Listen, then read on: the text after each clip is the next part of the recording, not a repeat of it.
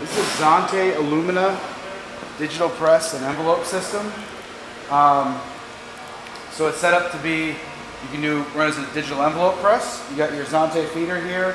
There's a pile feeder. There are controls over here. This pile feeder goes all the way to the bottom. You can fill it up with envelopes and it feeds them on in.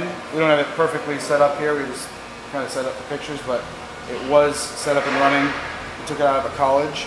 Um, there's also a Xante delivery conveyor over here for the envelopes. There's an adjustable speed knob back here with the other controls for the conveyor speed. You could also just run it as a standard digital press, which you'd use the paper tray down here for.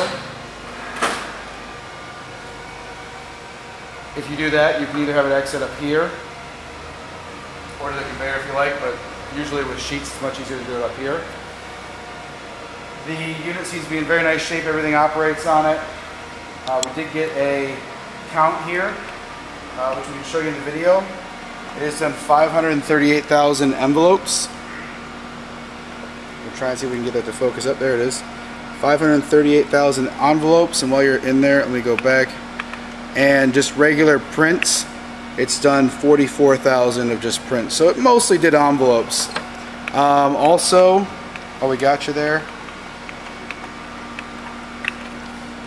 The all the drums are at 80%, 80 81. The belt is at 94%. The fuser is at 85%. Um, and all, the three of the three of the four toners are at 80% or 70 80%. There you go, 70%. Uh, the black one does need replaced. It's down to like 10%, so it needs black toner. Other than that, it's ready to go right in operation in your shop and most of the long-term consumables like the drum, the fuser, and the belt are in great shape. Uh, 80 plus percent life left on them.